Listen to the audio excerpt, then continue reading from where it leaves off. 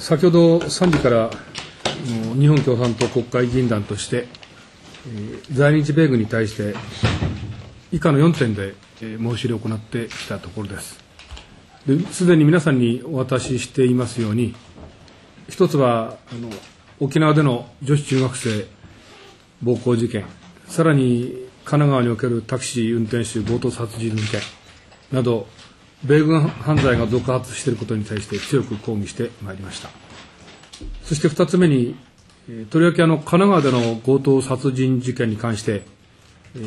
被害者遺族への完全な補償、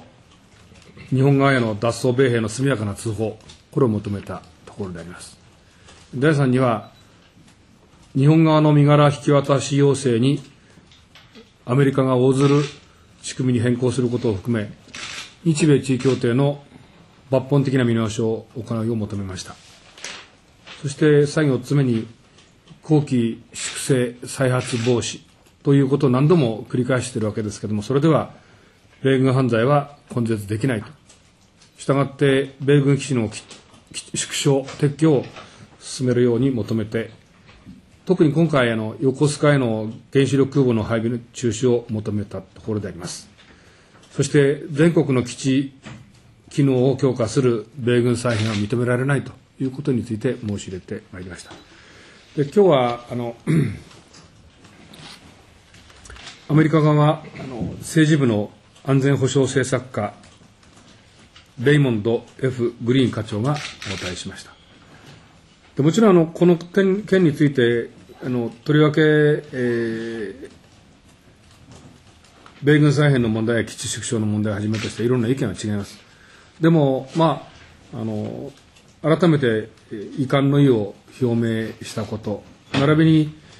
被害者遺族への補償についてはあの話し合いを進めて、解決を進めているということがあのありましたので、それは報告しておきたいと思います。私どもが特に注意を払ったのは、あのこの間、やはりあの事件が起きるたびに、再発防止、後期粛清とは言うけれども、実質的効果を持っていない。それなぜかということと、もう一つは、あのやはりあの米軍の置かれている位置の地位置という問題がね、今までと違うということを特にまあ強調してきたところです。それはやはり米軍が戦時に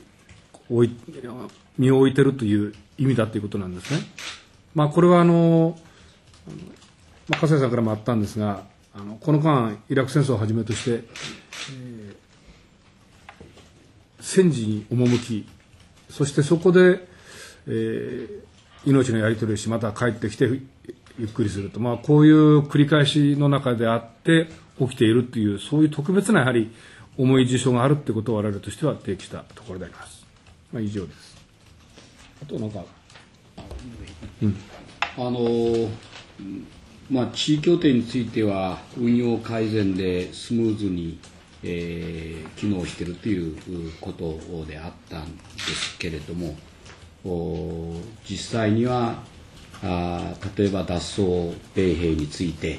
えー、それを地位協定上公務外と見て、えー、地位協定に基づく保障の対策を取るのかあるいは脱走兵は米側の管理責任だという場合に、えー、あの必ずしも公務外と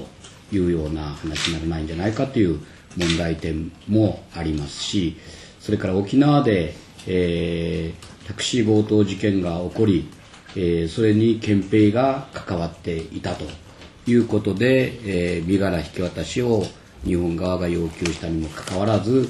えー、それには応じなかったというのがつい最近の事例として出てるんでやっぱり地位協定の抜本的、えー、見直しということなしには、えー、犯罪の抑止力、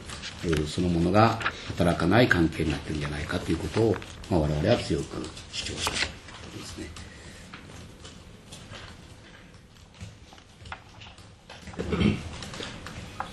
お渡したグリーン課長の方はどういうだから今言ったように、あの極めてそういう事故起こってる、事件が起こっていることについて、遺憾であるという政府としての態度を表明したということですけどね。でだだから、まあ、彼らもね、二度とこういう事件を起こしてはならんということについては再三再四言ってますけども、でその趣旨がもしあるとすればね、